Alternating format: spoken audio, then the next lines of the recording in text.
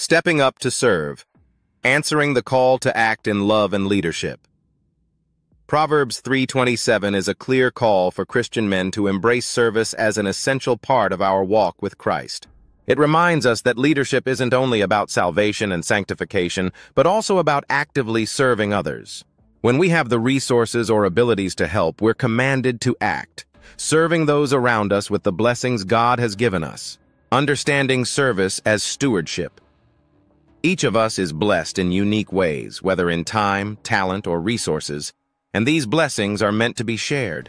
Service begins with the simple, often overlooked gift of presence. Just showing up, visiting someone, helping a neighbor, or mentoring others is a powerful way to serve that can't be outsourced. Leading by example is equally important. When we prioritize service, we inspire those around us to do the same, particularly in our families, churches, and communities. Every act of kindness models Christ's example, demonstrating the heart of a servant leader. Practical service priorities. Start close to home by serving family members with kindness and support.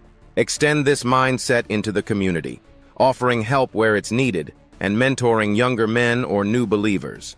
Service can also be woven into daily interactions, a word of encouragement or a helping hand, reflecting Proverbs 3.27 in simple yet impactful ways.